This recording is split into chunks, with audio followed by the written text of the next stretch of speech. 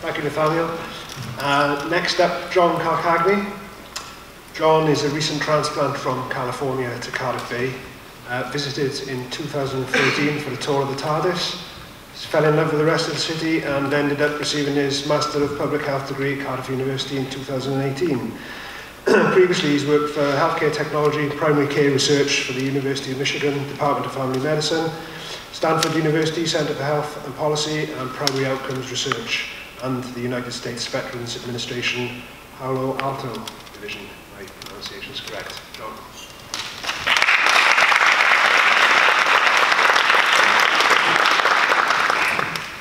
Hi everybody, Noswaith now. Good evening.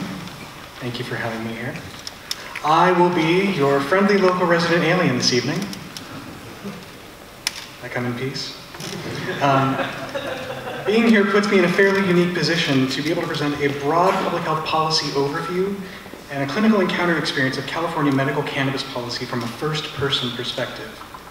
Um, as Reese said, uh, my background is translational research into clinical decision support in GP practices. That is a very fancy way of saying how research evidence can be applied to clinical care. I did that work for, as Reese said, University of Michigan, Stanford, Veterans Administration, Palo Alto. Very recently, got my Master of Public Health from Cardiff University. A lot happened in between those last two.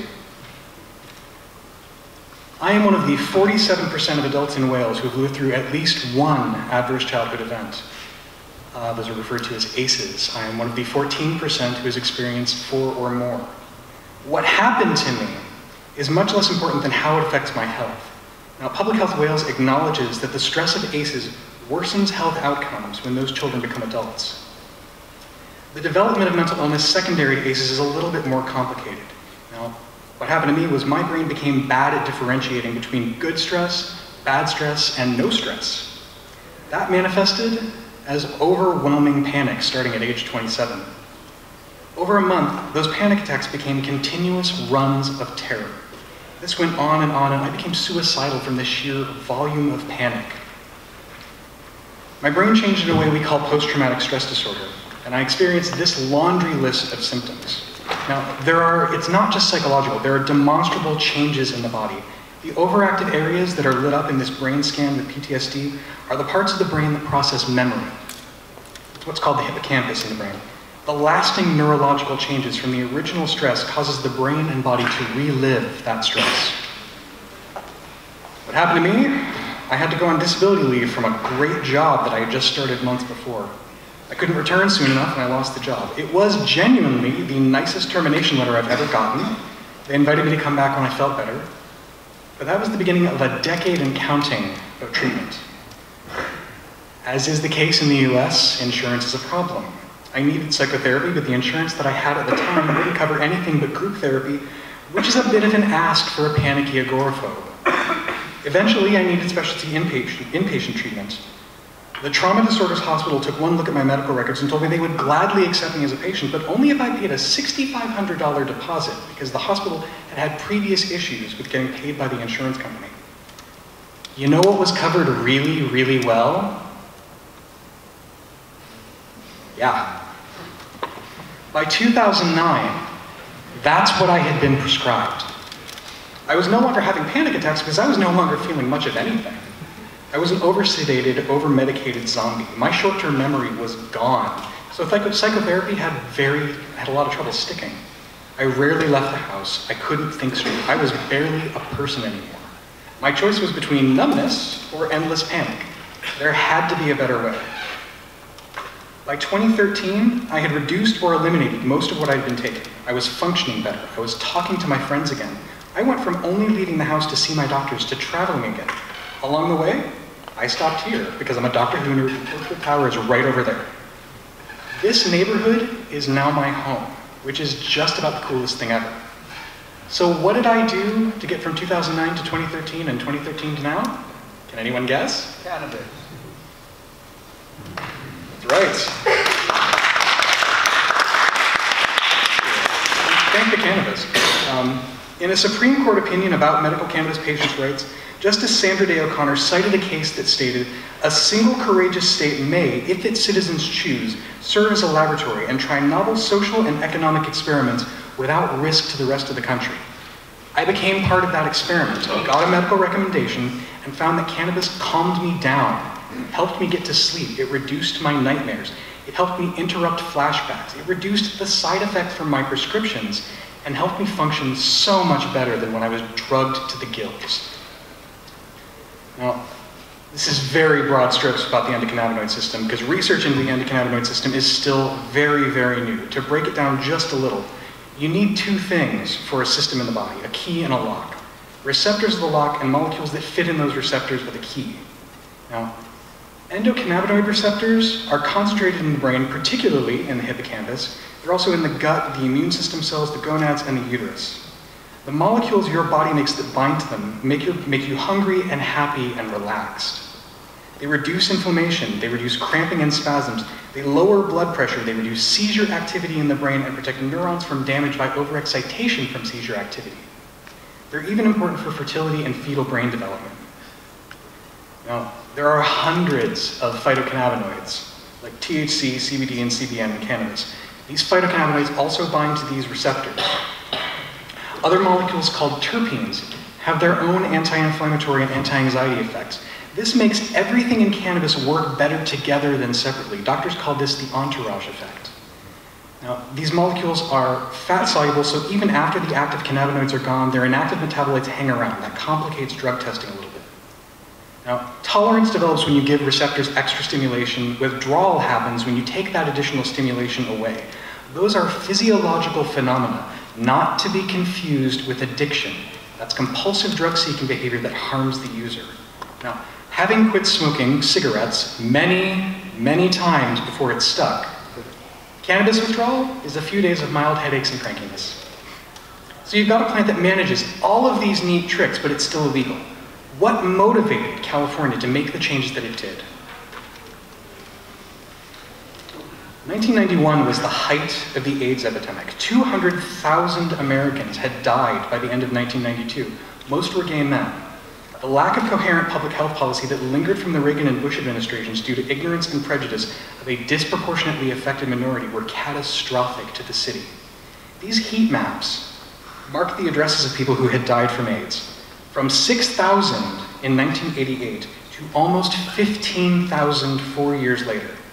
Those addresses are concentrated in the Castro, that's the gay neighborhood.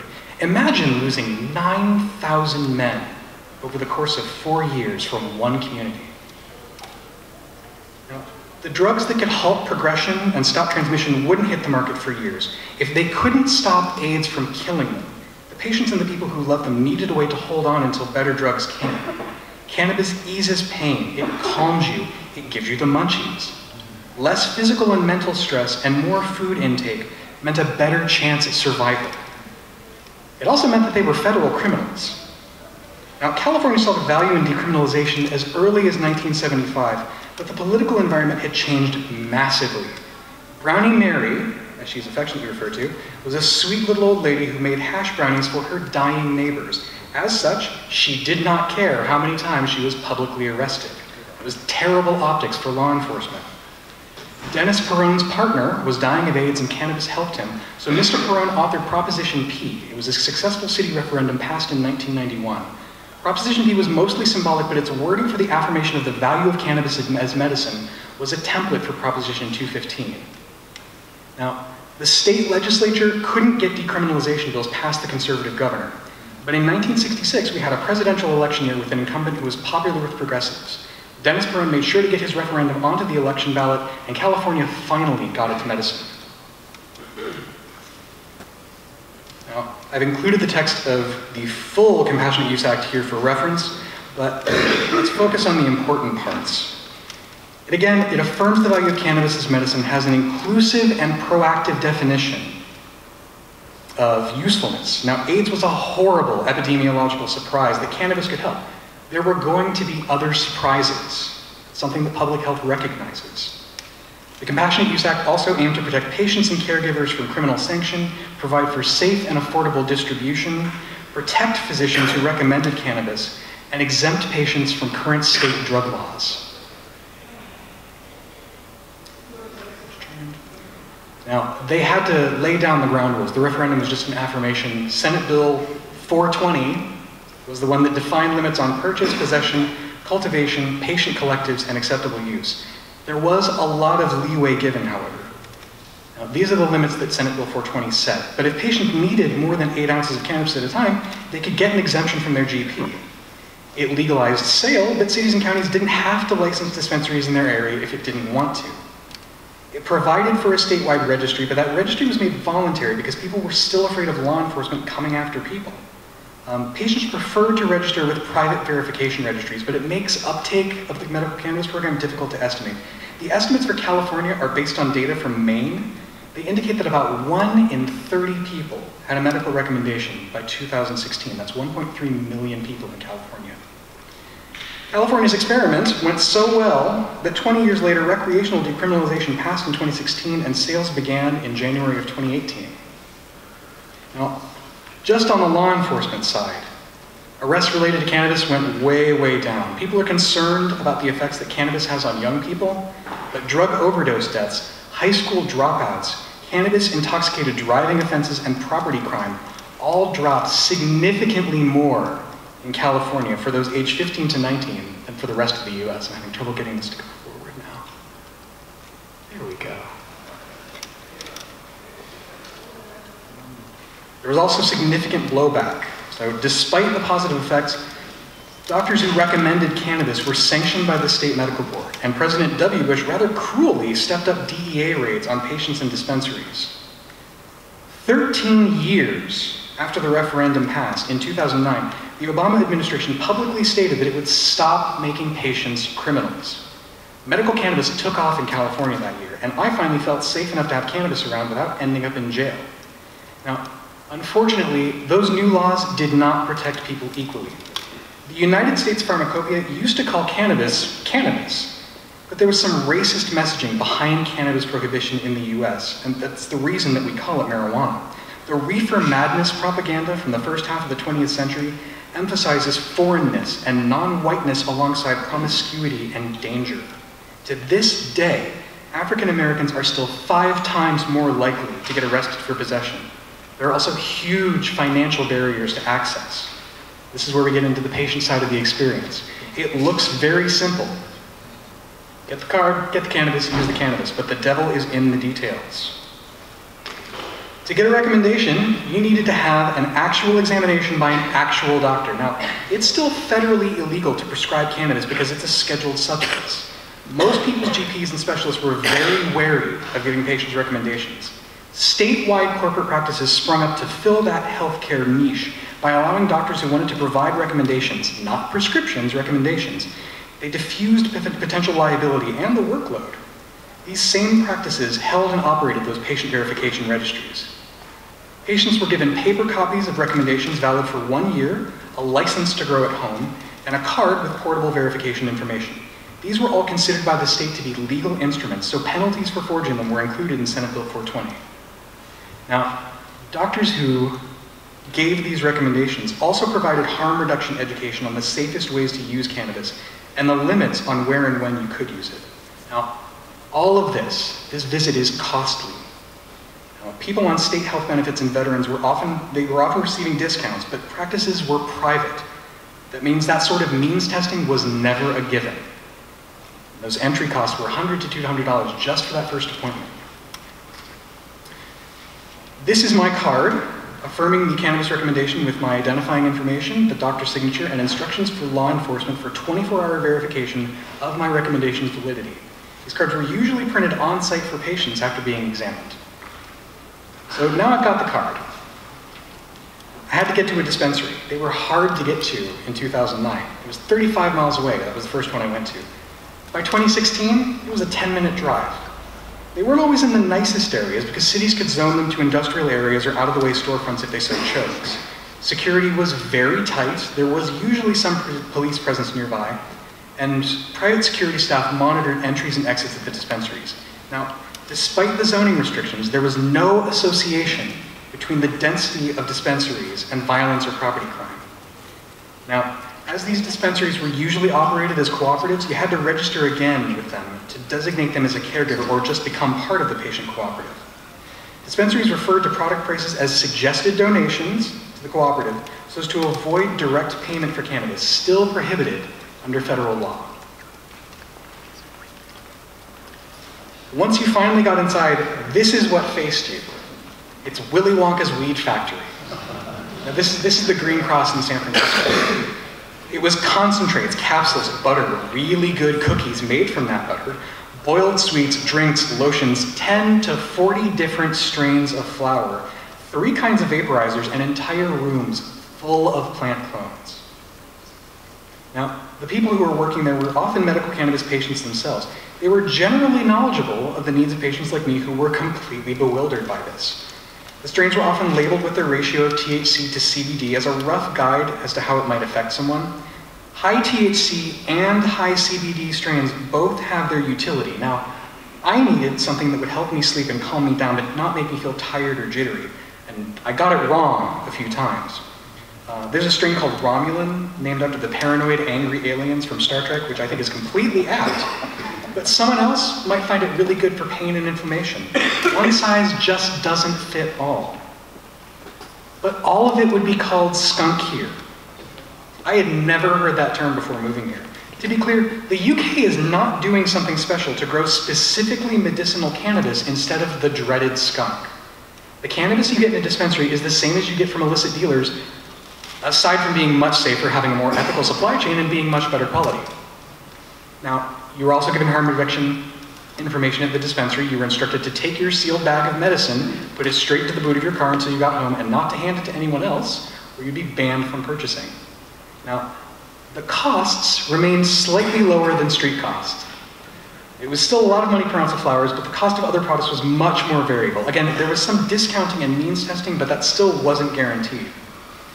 Now that I've got it, what do I do with it? Eating cannabis doesn't work well for me. It takes a while to kick in, which isn't great for panic attacks, and the effects last a little longer than I need them to. I vaporize so I could tightly control the effects, but how you use the cannabis is another barrier to safe access and equitable health outcomes. It's far more unhealthy to smoke, but it's way cheaper than buying a vaporizer or the equivalent edibles or capsules. Eventually, a lot of the guesswork was taken out of finding the best strain for you by databases like Leafly that crowdsourced data about each strain's effects. Now, the end-to-end cost from examination to getting the cannabis home is quite high. Again, this is a huge barrier to entry. Moving forward, this is what I did with, I was lucky enough to be able to afford those costs. This is what I did after cannabis changed my life. I am now speaking here in the Senedd in front of all of these people.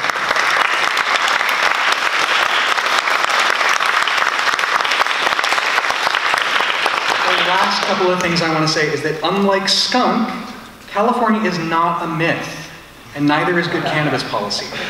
The specters of increased incidence of psychosis, crime, and violence have just not materialized. It's safe and effective there, and it can be safe and effective here. Devolution and the current political climate put Wales in a very unique position. The Assembly seems to agree that cannabis has value as medicine, but Wales needs to decide best how to move forward. The only advice that I have is not to wait for an emergent public health crisis and a five-figure body count to do something. Cannabis decriminalization and regulation is no longer an experiment. The experiment is long done. And there's good public health policy precedent in California, Alaska, Colorado, Hawaii, Maine, Massachusetts, Minnesota, Maryland, Mississippi, Nevada, New Hampshire, New York, North Carolina, Ohio, Oregon, Rhode Island, Vermont, Washington, Australia, Puerto Rico, Poland, the Czech Republic, Croatia, Macedonia, Turkey, Uruguay, Spain, Portugal, Slovenia, the Netherlands, Jamaica, and Chile. Wow. Why not here? Welcome, Natalie.